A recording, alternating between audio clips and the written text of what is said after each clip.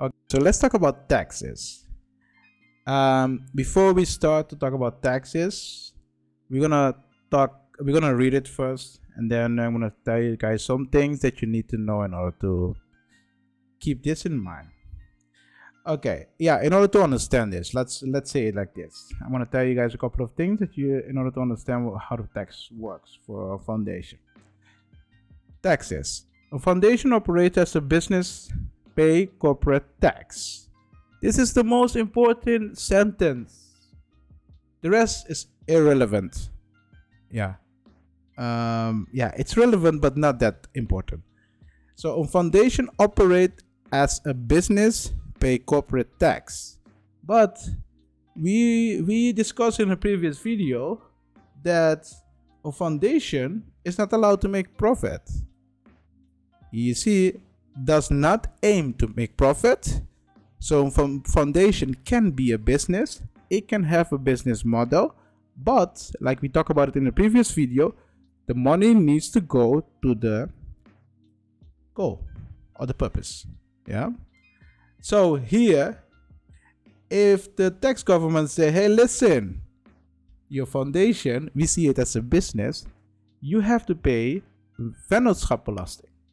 Yeah most time when you create a um, foundation you will get a text from the government and they will say if you meet the requirements or not. Yeah? It's not up to you. It depends on your purposes. That's why it's important at the beginning to create a good purpose for your foundation. If you plan it right if you do everything right seriously you don't have to worry about this. But uh, see your foundation. Doesn't matter if what kind of non-profit organization you have see it as a business yeah. The reason i'm saying that is a company or a non-profit organization they always have costs. Yeah. If you don't see your non-profit organization as a business it's not going to live long. Yeah. Let's continue reading. In this context, a business is any organization running on capital and labor for the purpose of making profit through commercial activity and economic transaction. So technically, yeah, if you have a business model, you will be seen as a business. And here they explain exactly what the business is. And really nice. Uh, I have to say, the people that wrote this, it's really nice how they put it, but it's correct. Yeah.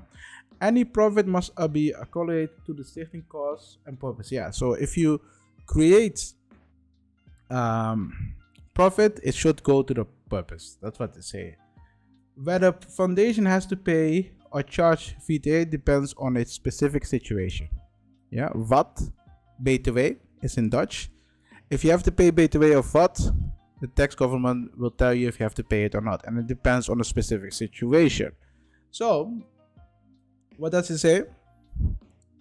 If we have a foundation that meets the requirement of business, business foundation, and we have normal foundation, or let's say foundation that doesn't meet the requirement here you pay vennootschapbelasting tax.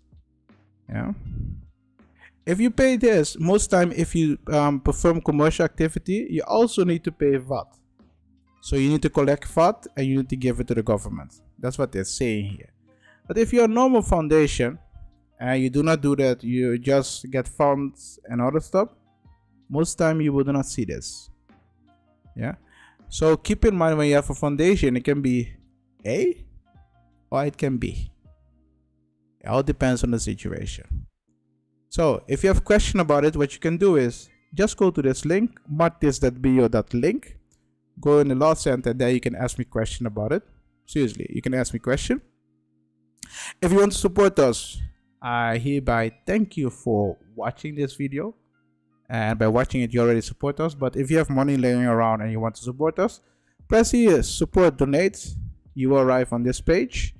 And on this page you can become a member and you can support us monthly. Yeah you will get benefits from this. So don't worry about that. It's not like we take your money and you will never hear from us again. Even if you donate um, something you can say something nice uh, i will send you a message seriously as a thank you message or contact you. If you're in a Discord, you can ask me questions. I will try to help you out. If I cannot help you out, I will refer you to the right person. keep that in mind so if you want to know what our costs are for certain kind of services we have packages you can look in the shops here or you can look for commission work for services specific works you can press here and you can see the price so if you like this video seriously like the video press like right? and what you can do is while you are there just press the subscribe button. Just press it just press it right now yeah? I'm waiting. And don't forget the notification bell on.